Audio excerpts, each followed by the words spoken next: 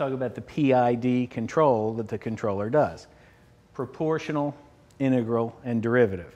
It's kind of something we do ourselves without even thinking about it. Proportional deals with how big is the difference between what I want, the set point, and process variable. Integral has to do with how long it's been off. Now, let's talk about how that really works. You know from experience about where you crank the thing to.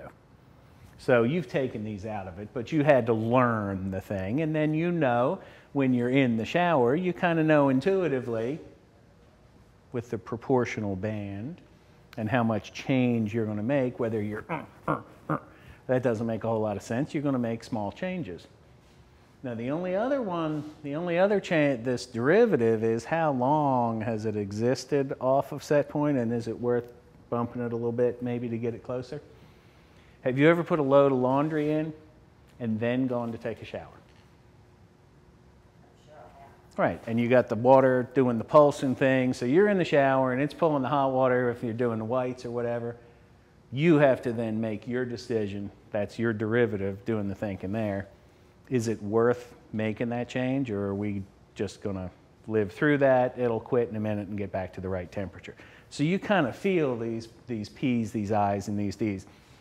The cruise control in your car does not. It's strictly proportional that's okay on a flat road, but when you get start up the hill, it lags a little bit and then gives you some gas. When you crest the top, say that again? Yes, and that's because it's all proportional. There's no PI in there. And that's why the thermostats, everybody I'm sure has stolen a Honeywell thermostat from here and taken it home. The thermostat learns what the behavior of your heater or air conditioner, depending on which it's doing, and your house. And it does a great job of doing the P, the I, and the D.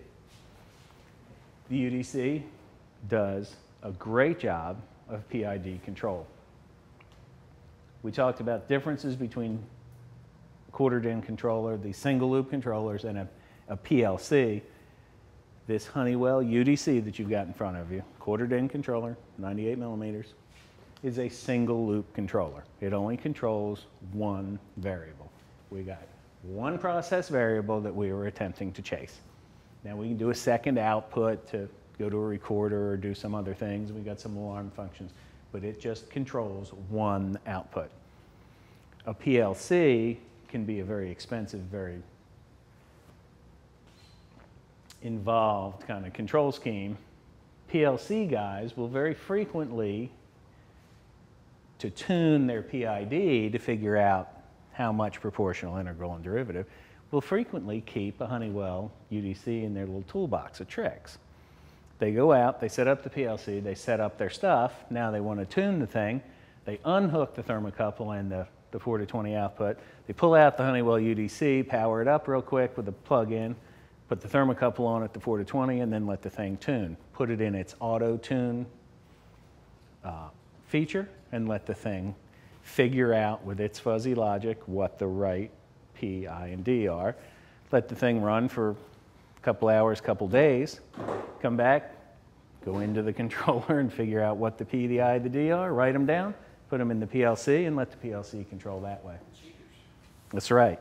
Because the PLC is not really good at PID control. It's not what it's built for.